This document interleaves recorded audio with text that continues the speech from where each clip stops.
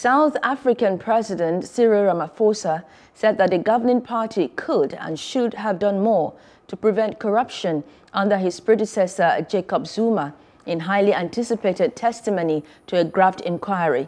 Ramaphosa, Zuma's former deputy, was appearing in his capacity as current leader of the African National Congress in a rare case of a sitting president giving evidence on recent alleged acts of wrongdoing by members of his own party.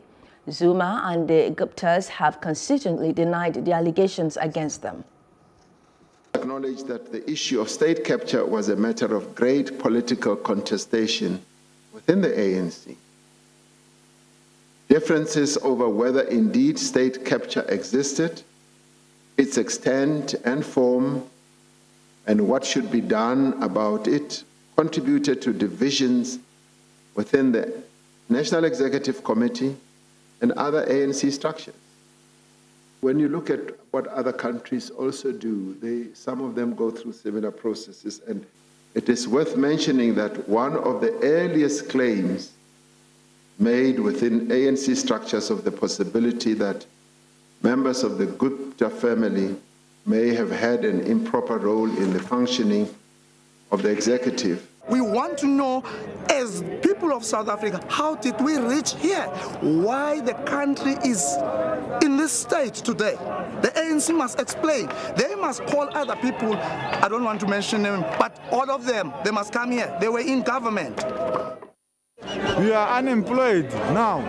We are suffering, we, we, are, we are dying, we are starving. Because of this, there are no feeding scheme. The COVID-19 relief fund has been looted all over. And they are now denying us with, with the job. The president, Mr. Ramaphosa, is a part and parcel of this thing. Uh, he was president, rather deputy president of ANC. He was deputy president of the country when all these things happened, when have uh, disappeared, uh, he was part and uh, parcel of the, you know, uh, the, the same thing. He may say that he did not know, but then it is not correct. He leads by example that uh, no one is above this commission. When the commission wants to hear from you, definitely you have to avail yourself. And I think the president is doing the right thing to represent the African National Congress today. Hello. Hope you enjoyed the news. Please do subscribe to our YouTube channel and don't forget to hit the notification button so you get notified about fresh news updates.